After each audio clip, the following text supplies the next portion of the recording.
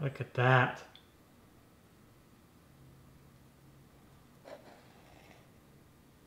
Look at that. Hello and welcome to In the Kitchen with Matt. I am your host, Matt Taylor. Today I'm going to show you how to make homemade mozzarella cheese. Oh yeah, using pretty much just two ingredients. Just using milk and white distilled vinegar. Now there are a few recipes out there on how to make your own mozzarella cheese and one of the popular ones involves using citric acid and a product called rennet. Um, and But you don't have to use those. You can make it with vinegar instead and that's the method I am going to show you right now. Really easy to do, simple ingredients. If I can do it, you can do it. Before we move on, make sure to subscribe to my channel and hit that notification bell so you don't miss out on any of my new videos. Let's get started. Down below in the description box, you'll find a list of the ingredients and their amounts. Here we go. So I have some raw milk here. And I got this at my local Sprouts. You can find it like Whole Foods, um, natural grocers. But um, if you can't find raw milk, so raw milk, uh, raw milk is unpasteurized. If you can't find raw milk, you can use pasteurized whole milk, but don't use ultra pasteurized, okay? So use either just normal pasteurized whole milk or raw milk. And so I'm gonna take this, this is one half gallon or 1.89 liters. And I'm going to pour it all in this large pot. This is my Dutch oven. Okay. And now over to the stovetop we go. Here we are over at the stovetop and I have the heat on the burner set to in between medium low and medium. So on my setting, it goes one to nine for the heat. So I have it set to a four. And we don't want to heat it up super fast, but we're going to stir and heat it until it reaches 115 degrees Fahrenheit, which is about 46 Celsius. And it doesn't have to be exact. It could be between 115 and 120 Fahrenheit, so between 46 and 48 Celsius around there. And the reason why we want to stir while we are heating it up is you want it to heat up very evenly. All right, we got to 115, 116, that is great. And now what I'm going to do is I'm going to take that vinegar, this is seven tablespoons of white distilled vinegar, and pour it all in there and then I'm going to take my slotted spoon here and just stir a little bit, kind of taking it from the sides and go in. 35 seconds or so. And you can see it's already starting to curdle. All right. And then turn off the heat. And then I'm going to take my lid and put the lid on and let it sit for five minutes. Once the five minutes are up, we will take off the lid and you'll see the cheese develop on the top. Now, if you're using citric acid and rennet, then it'll develop a thin film, kind of like custard on the top, and then you'll cut through it with a knife. And now we want to gather up the curd. So we'll take a spoon and we'll just take that, see that that's the curd, and we'll take it and squish it together into itself.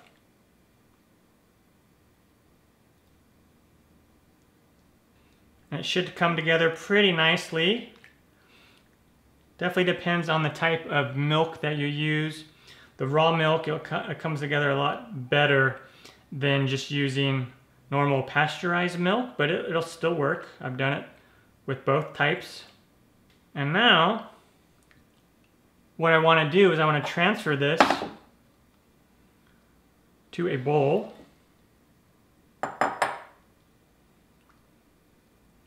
There's the cheese right there. Make sure to get it all out. Okay, I'm gonna set this aside. and take my cheese here. Now there's way too much liquid and whey with the cheese right now. And so we want to squeeze all the extra uh, whey out that we can. And so I have some gloves here. You can use clean hands as well. You don't have to use the gloves, but it's always a good idea to use gloves with the cheese. Okay, and then I'm just gonna grab this in my hand and just kind of squeeze it and put it back together and squeeze it. I'm not squeezing, at this point I'm not squeezing too hard yet. I'm gonna take this extra whey and pour it over here in a big, big pot. And then you can also take it down and just push on it and squeeze it like this and knead it a little bit. And that lets you get some extra pressure.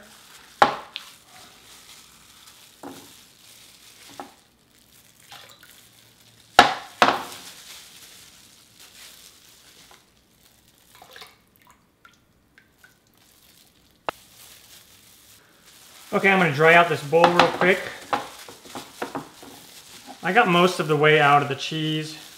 And I'm gonna take the ball of cheese and put it back in here. And now we wanna bring up the temperature of this cheese to 160 degrees Fahrenheit. There's a couple ways that you can do that. You can reheat the whey. That's a common method. Reheat the whey to about 160, 170, and then immerse the cheese into that, and that'll help it get to temp. Or just use the microwave. I'm gonna put this in the microwave for about 30 seconds and then check the temp. Stretch it a little bit, 30 seconds until we get up to 160 Fahrenheit. Okay, I'm gonna test it. It's about 135. Also, if there's any extra weight in there, I'm gonna pull it out and remove it. Okay? And we can stretch it a little bit push it down a little bit, and get some more of that whey out. Okay, and into the microwave once again for about 25, 30 seconds. Almost there, almost a temp. Okay. Yep, right about there. And then I'm just gonna spin this a little bit.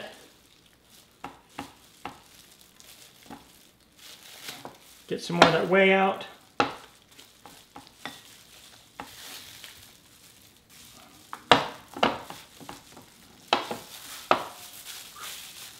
Ooh. And it's gonna be really hot, that's just amazing ball of cheese. And eventually you should be able to be able to get it in your hands and we'll just keep pushing it and stretch it. Look at that. Yeah. Stretch it.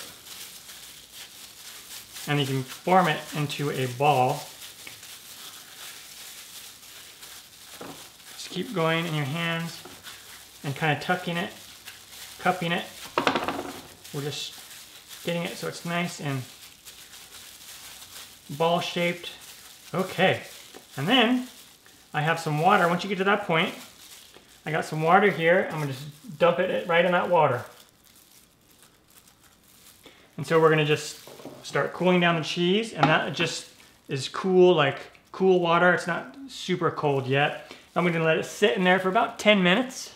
And then after about 10 minutes, I'm gonna get some ice cubes and just cool down the water even more and let it sit in there for another five minutes or so. All right, and once the cheese has chilled, we can take it out.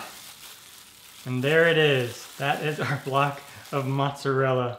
And now, what about this leftover whey? What can you do with that? There's a lot of things you can do with the leftover whey instead of just dumping it down the drain, you can use it um, anytime you have a recipe that calls for water, you can use this whey instead and it'll add a boost of nutrients because this is highly nutritious. You could just drink it if you wanted to. You can use it for other things like watering the plants. Um, so there's a variety of things that you can do with it instead of just throwing it away. But I will leave that up to you. Okay, and then I'm going to just take a paper towel and just kind of pat this dry a little bit and get any of that extra little water from it. Yeah, there we go. Now, if you want to grate the cheese, it grates easier if you freeze it. And then to store it, just take some plastic wrap or cling wrap.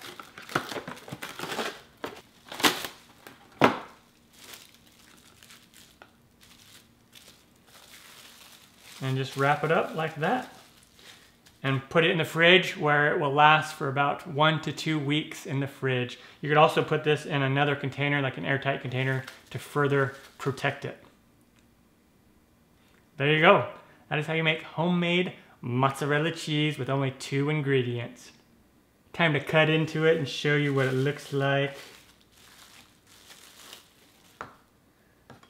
I'm just gonna take this right here. Yeah, look at that.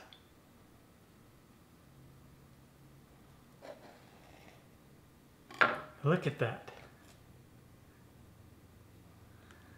Awesome. I'm gonna give it a taste. And it'll stretch a little bit, but then it'll stretch more when it when it um, melts. Mmm. Mmm. Yeah.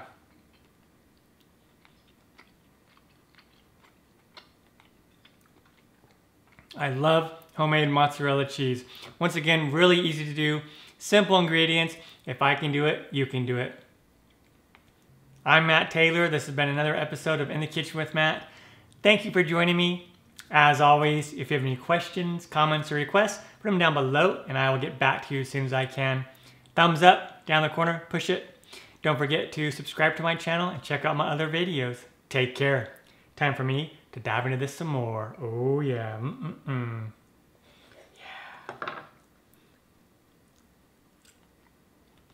Mmm. Mm-mm-mm.